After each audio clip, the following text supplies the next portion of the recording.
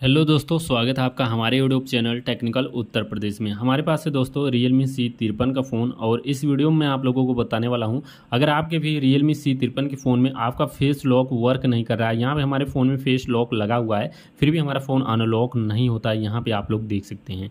तो live proof मैं आप लोगों को दिखाऊँगा, आप इस प्रॉब्लम को कैसे सॉल्व करेंगे। अगर आपको वीडियो इंपॉर्टेंट लगे तो वीडियो को लाइक और चैनल को सब्सक्राइब ज़रूर करें। सबसे पहले दोस्तों, आपको अपने फ़ोन के सेटिंग में आना है। यहाँ पे सेटिंग ओपन करेंगे।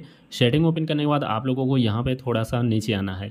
नीचे आने के बाद यहाँ पे एक चीज़ आप लोग ध्यान लीजिएगा। आप सबसे नीचे आएँगे तो सिस्टम का ऑप्शन मिलेगा। अगर यहाँ पे सॉफ्टवेयर अपडेट आपके फ़ोन में आया है तो आप इसको बाद में सॉफ्टवेयर अपडेट कर लेंगे, जो सेटिंग में बता रहा हूँ। उसको करने के बाद आप अपने फ़ोन को अपडेट ज़रूर कर देंगे। यहाँ पे हम बैक आ जाते हैं। बैक आने के बाद एक चीज़ आप लोगों को करना है। यहाँ पे सिक्योरिटी का ऑप्शन मिलेगा आपके सेटिंग में। देख लीजिएगा, सेटिंग में आएँगे, थोड़ा नीचे आएँगे, सिक्योरिटी का ऑप्शन मिल जाएगा। आप इस पर क्लिक करेंगे। क्लिक करने के बाद यहाँ पे आप लोगों को फेस एंड फिंगरप्रिंट अनलॉक का ऑप्शन मिलेगा। इस पर क्लिक करना है।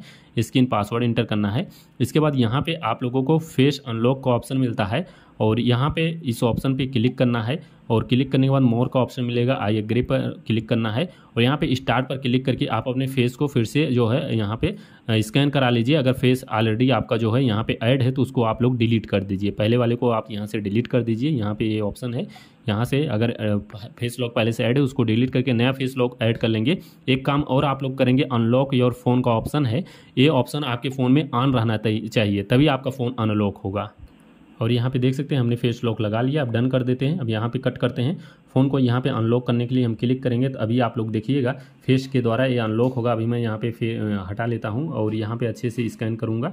और जैसे ही स्कैन करूँगा, ये फाइनली हमारे फ़ोन में अनलॉक हो जाएगा। तो इस तरीके से आप भी अपने फ़ोन को फेस लॉक को अनलॉक कर सकते हैं। तो यहाँ पर आप वीडियो पसंद आए तो लाइक ज़रूर करें।